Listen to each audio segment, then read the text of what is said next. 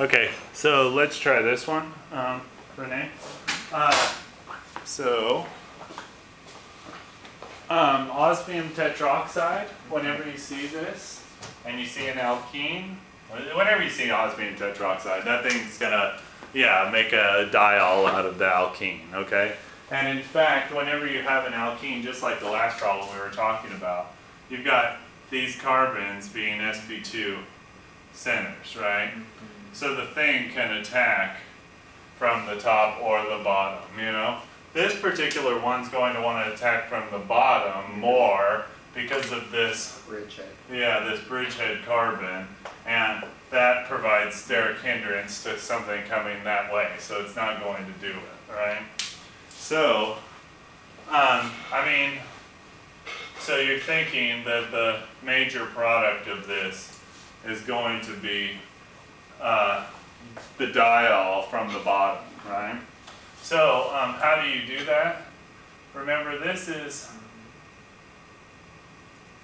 actually a concerted reaction, okay? It's like those um, uh, uh, pericyclic reactions that we had talked about later, you know, but now that you know about them, you can think about them in this sort of way. So let's draw osmium tetroxide.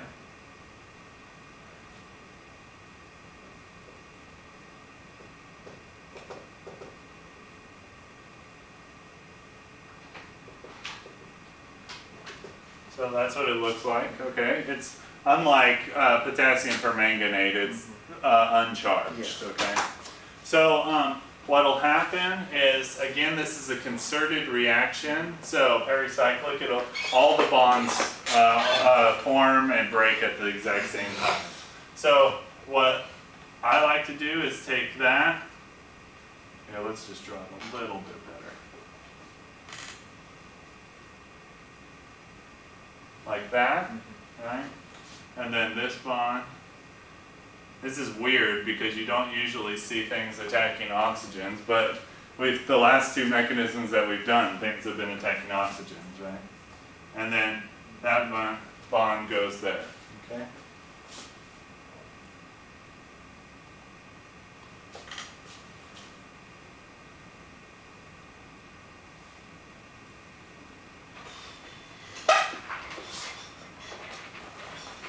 Now you've got this intermediate.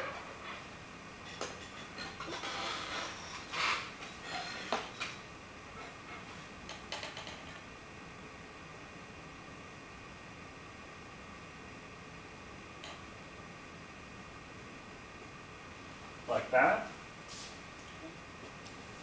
Um, and uh, so so again, this is concerted. And you don't need to know the, the second step mechanism. So this is kind of an intermediate, right? Or a, uh, uh, intermediate for the uh, reaction. And what uh, this uh, sodium bisulfite does is kind of reduce this osmonium intermediate, you know? So it'll kind of if you can effectively say just break those bonds there, okay? So it's gonna reduce it, right? So reducing means to add hydrogen to, right? So for this, um, you don't need to know any mechanism. You see something like that, that just means reduction.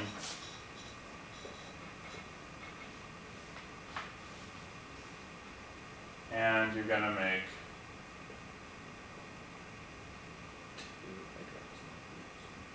what is that called?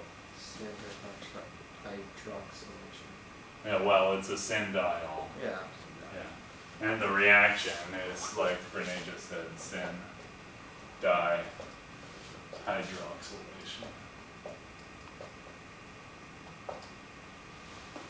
So again, need to know the mechanism, don't need to know the mechanism, just reduces, okay?